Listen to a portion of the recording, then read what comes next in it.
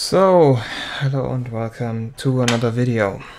Um, this is another one about the RX 570 and you can see the VRM is now completely populated on this card.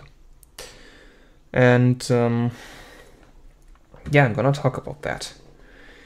So, if you missed the first videos about this, this card does have a very, very underpowered VRM so much so that the power limit on this is so aggressive that overclocking is very strongly harmed because of it. And then also, um, once I flashed a custom BIOS to go around this power limit, one of the high side MOSFETs in this VRM blew up. Um, this is probably not because I was overloading the VRM, this is probably because the VRM is using faulty components because after that it blew up two more times while not using uh, a BIOS that overloads the VRM. So what I decided is I'm gonna nuke the entire VRM or the MOSFETs of it and I'm gonna replace them with better ones to not only repair the card, but to also upgrade it so it has a better VRM that can now handle higher power. So the hardware side of that problem has been solved. Every single MOSFET in that VRM has been replaced um, by a, I don't remember the name, a Vishay Semiconductor R158 MOSFET, like I've, I've used these before and that include that includes the high sides. Now that's a very bad idea. Why is that a bad idea? Because low side MOSFETs are designed to handle a lot of current and to have low RDS on. High side MOSFETs are designed to be fast, so they can switch your 12 volts and yeah, so they can switch your 12 volts uh, very fast. Um, using low side MOSFETs in the place of your high sides does make the VRM a lot worse because usually the low sides are slower than the high sides. And if you try to, to switch them as fast as a high side, you're gonna end up burning a lot of power and make the VRM very inefficient. Now in this case, this issue is smaller because these high these MOSFETs are pretty high end. So they are just very slightly worse than the high sides this came with. And I've also used two of them per phase, whereas the stock VRM only has one high side per phase. So that should help the efficiency a bit. Um, but yeah, every single MOSFET in that VRM is the same one. And the datasheet says this is supposed to be a low side. So, uh, did it work? Kinda. So the card turns on. And like it's, it, it displays an image, it does run the driver, no problems at all until you actually try to do something. And I've said, I think I've said this before. The card did have this issue before I swapped out the VRM. The card runs and then just randomly shuts down. And and it, and it's not like it runs for half an hour and then shuts down because it gets too hot. No, like less than a minute, like 30 seconds, and it just shuts down. And originally I was thinking because, uh, well, the high sides are probably overwhelmed because if one of them exploded, like, it could be that it's just a faulty component. It could be a combination of being faulty and running too hot because the VRM heatsink is not very good at being a VRM heatsink and the back of the card where the VRM is around here gets so hot you can't touch it. So that's a lot more than 60 degrees on this side. So the internal MOSFET temperature is probably a lot higher. Um, so yeah, I was thinking that maybe it's tripping over uh, over temperature protection on the VRM. So that's another reason why I have two high sides of these. Because like these MOSFETs should handle it, though they will be less efficient than some proper high sides. Well, as it turns out, that's not the issue. What's likely the issue is that something else is happening. I don't know what, but something else is happening. I have a theory that uh, while I was uh, like while I was messing with the hot air station with replacing all the MOSFETs, I may have overheated or broken something in the temperature sensing circuit because like these being discrete MOSFETs, they do not have an internal temperature sensor. So the VRM temperature reading has to come from something else. And usually that's a resistor that's somewhere where the VRM is. And that resistor is being used as a temperature probe.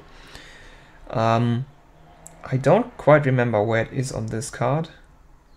Uh, can I look for it? Wait, I'm gonna take a close look at the card. Maybe I find it again. Uh, ah, yeah. There. Under that inductor, there's a tiny resistor, and there's only one of it. So I suspect this is the temperature sensor. And yeah, basically, like, uh, depending on heat, a resistor changes its resistance and depending on what resistance it has you can then calculate how hot it is. And maybe I broke something in that circuit and the card is now thinking it's running way hotter than it actually is.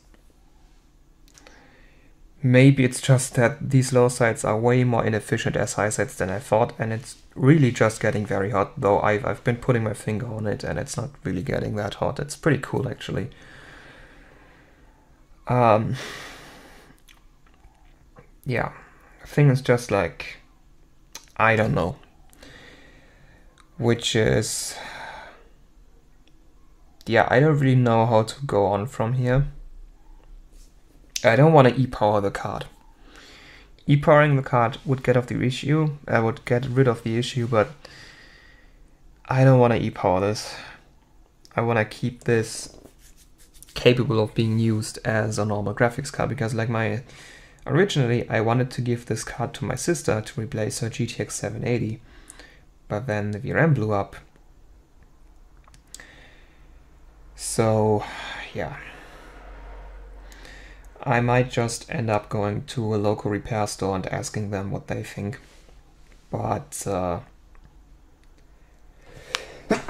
oh, sorry, had to sneeze. Um, I'm just not quite convinced that local repair shop is gonna have a better idea than I have.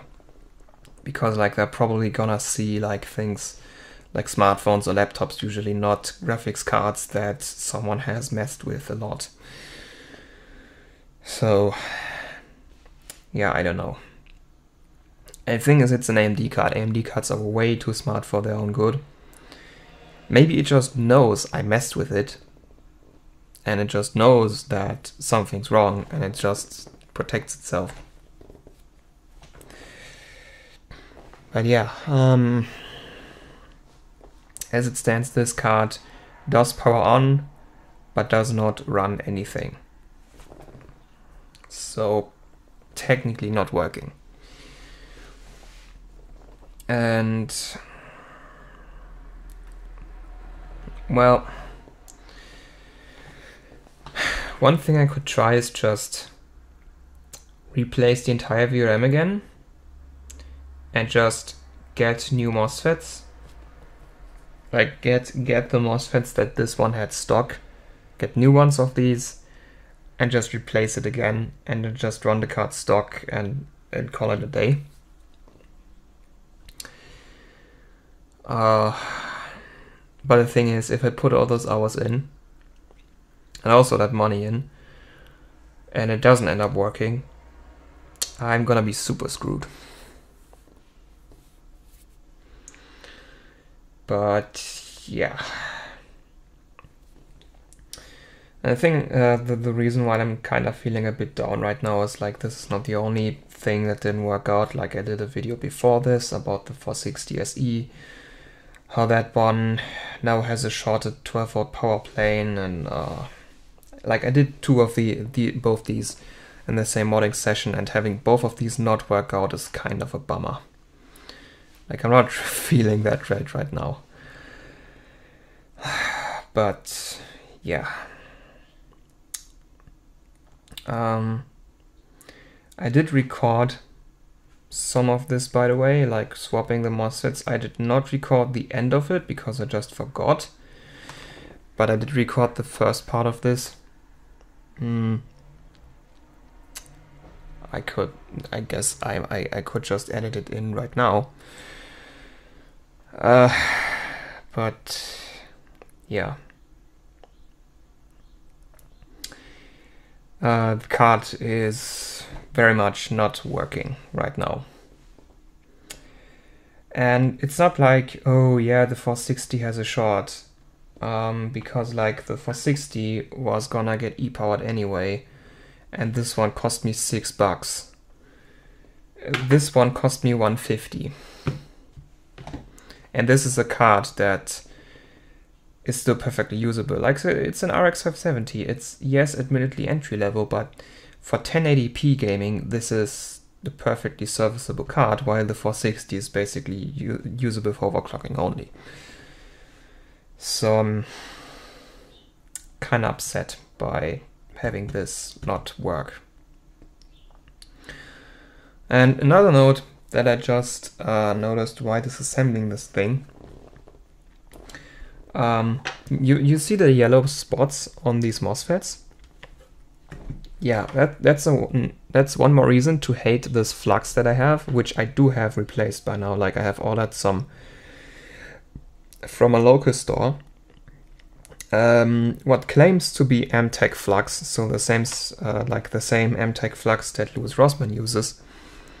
Um, there's a lot of fake ones out there, but like that store I trust them to not buy cheap off eBay. So yeah, I hope it's it's genuine because I couldn't get it from store.rossmanngroup.com because shipping would be like three times the price of the tube. Um, but yeah, like another downside of the flux I have is it's super sticky and it almost destroyed this thermal pad right here.